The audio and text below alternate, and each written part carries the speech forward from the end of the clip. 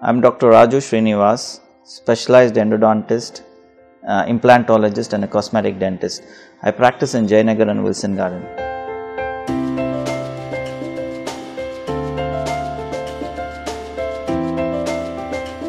Dental night guards are used to stop from uh, clenching and grinding of teeth. So they are made from material which are thin and still very effectively strong enough to serve the purpose because they are supposed to be used almost every day in the night time. Whereas sports guard is a material which is softer and uh, it covers the tooth and the gums and it is used to protect the athletes from blows and accidents during uh, sports activity. So they are meant for different purpose because they are more uh, bigger they are very difficult to wear for longer hours in the night times